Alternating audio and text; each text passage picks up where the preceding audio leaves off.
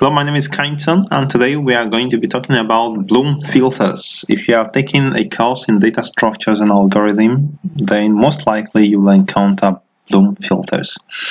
And my objective is to make this explanation as simple as possible. So let's see how it goes. Um, I'll try to break it into chunks of maybe 10 minutes for each, each section. We'll also try to make sure you understand the calculations or the formulas uh, the probability calculation, number of bits, and things like that. So try to pay attention as we go along. I'll also like to remind you to subscribe because if you subscribe, you get notification when I make another video and that will be better. So click on the subscribe button to subscribe. Now, what are we going to cover? We are going to discuss what is Bloom filter very uh, briefly how Bloom filters work. Then we take a typical example. I would like you to pay attention to this third part, this example, because it's always very clear uh, when you take an example. Then I've also decided to separate the mathematics part of it, the I mean the calculation, or the the uh, formula and the all these are mathematical expressions. I'm, I'm going to try to make it really easy and then how big, how many hash functions, measuring performance, and then application. So let's start from the basics. I'm not going to bore you with all this explanation, but you can read it up yourself. Bloom filters is uh, proposed by Burton Howard Bloom in 1970. So it's a data structure used to test whether an element is a member of a set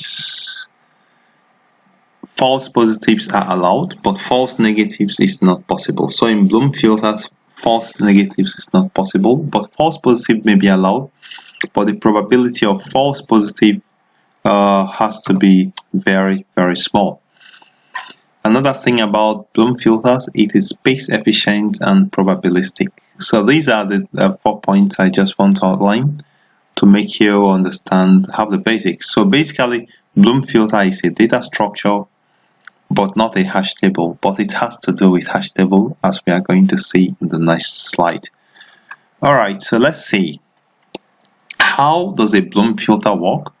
First, a Bloom filter is an empty bit array. It starts with an empty bit array all set to zero. So this is the starting point of a Bloom filter as an empty bit array. Let's see, let me see if I can draw. Okay. So this is the initial part of the Bloom filter, an empty bit array all set to 0. So initially in a Bloom filter, this is what we have. I want to explain it in such a way that you could explain it in your own words. So this is Bloom filter in initially initially this is how it is and then this goes from from how many bits m bits so these are from let's say if we start from 0 1 all the way to what what is here m minus 1 so it means that total number of bits is m minus 1 now a Bloom filter represents S elements. So we have S is equal to is is made up of x1, x2, all the way to xn, right? So to represent uh, this S, we need we likely need m times n. But don't worry about this. I'll make it clear in the math side of in the uh, when I will explain the expressions used. So for a Bloom filter to work, you need hash functions, hash function h1, h2, you need series of hash function h1 to k. Don't worry about this k, but take note that we have series of hash functions. Alright, so each of the k hash functions maps some elements to one of the array position. So this h1, if you pass s1, let's take s1 for uh, this x1 for example, h1 of x1, right? And it gives us, let's say, uh, gives us 2. So it means that we go to position 2 in the, in the Bloom filter and set it to 1. Remember, a Bloom filter is a bit array, meaning that it's only 1 and 0. So we go to position 2, that is here, and then set it to 1. So let me erase this, and then set it to 1. After passing H1 through H1, we also pass it through H2. The same uh, element, we pass it through H2, and let's say it gives us 5. So what do we do? We go to position 5, this is position 5, and set it to 1, right? So this is basically how it works. Uh, but we still continue. I just want to make sure you understand the principle. Alright, so just a recap. We have m bits here. We have k hash functions. And we have a set of elements x1 to sn. And this we say is the number of bits is given by m times n. So to get this uh, a little clearer, let's now take a typical example, a, a, a, very much typical example. I want you to follow along as we do this together, right? So we have this time, what is the value of k? k is equal to, without being told you, of course, you know that h1, this is h2, and this is h3. So uh, let's say we have a set of S is equal to um, x1 and x2 or let me use something that uh, will be easier to follow. Let's let's not use all these expressions here. So let's take for instance we have we have S is made up of A B. Okay, so what we now do is that we start uh, mapping this set into the Bloom filter. So what we do is to say um, the first thing we do is we use H1 of what? Of A and it gives us let's say 1 right h1 of a is gives us 1 so remove 0 and put 1 we also calculate h2 of a. It gives us let's say uh, 0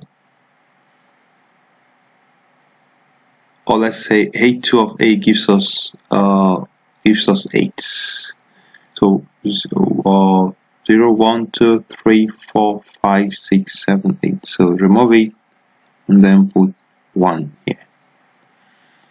So we do the same for h2 for for this other uh, element h1 of of b gives us what? Let's say it gives us 5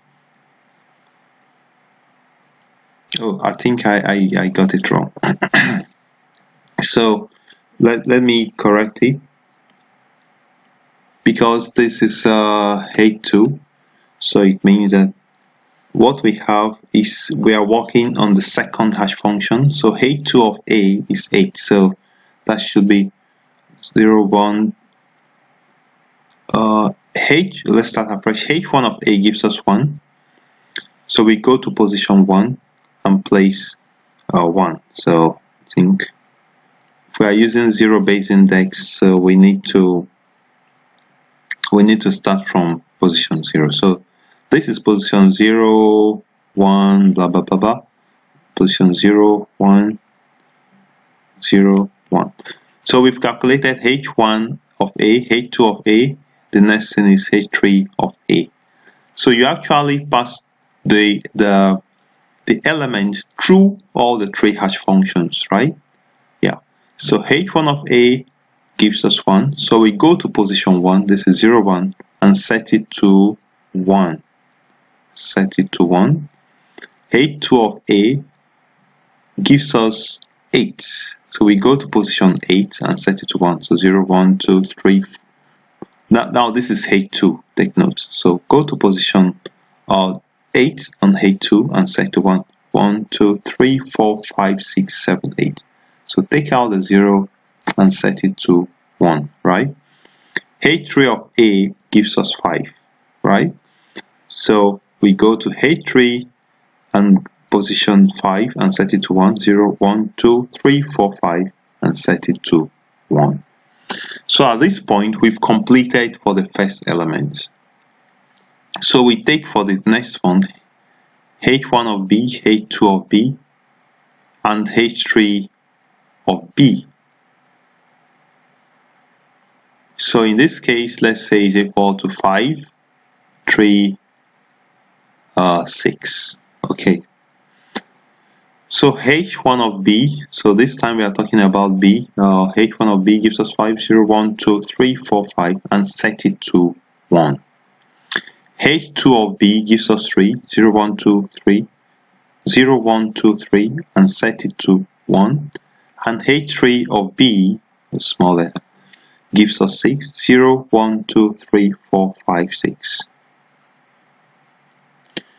Alright, so this is how basically a Bloom filter works. So you can say this is insertion. We just talked about insertion now. Right?